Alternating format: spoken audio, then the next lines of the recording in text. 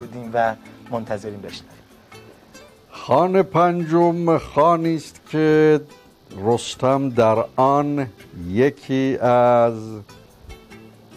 آدمیان را که اولاد نام دارد در سرزمین دیوان به بند می افکند.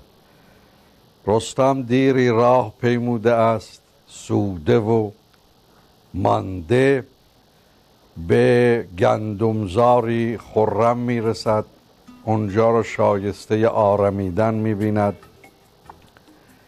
سراپا خوی کرده است عرقناک است. زره و اون تنپوش شگفت خیش را که ببر بیان نامیده می شود که به معنی زره بقانی است زره ایزدی است. از تن بیرون می آورد و در آفتاب می گسترد تا خشک بشود.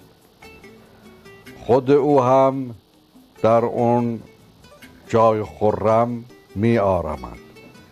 دشتبانی که اون گندمزار را پاس می داشته است هنگامی که می بیند مردی بی هیچ پروا گندمزار را در پای سپرده است و در اون آرمیده است و اسب خود را هم رها کرده است که به هر شیوه در هر سوی که خوش می دارد به چرد به خشم می آید و به هر شیوه ای که هست با بانگ و فریاد و کوفتن بر پیکر رستم او را از اون خواب گران بر می آورد.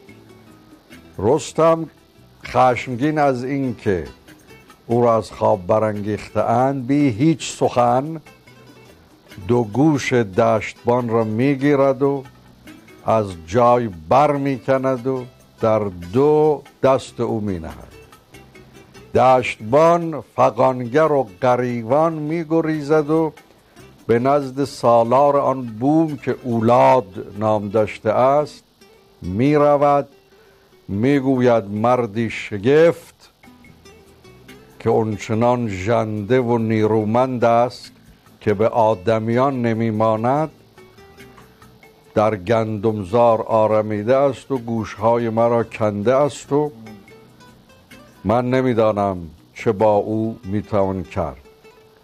اولاد نخست می‌گوید که من خواهم رفت و او را از اونجا بیرون خواهم راند و به کیفر این گستاخی و شوخ چشمی که بر تو روا داشته است خواهم رسانید.